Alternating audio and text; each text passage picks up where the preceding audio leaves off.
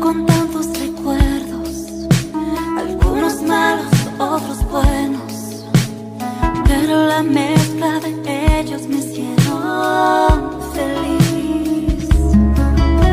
Entiendo que debes marcharte, la vida te da otros lugares, pero antes déjame abrazarte y orar por ti, aunque le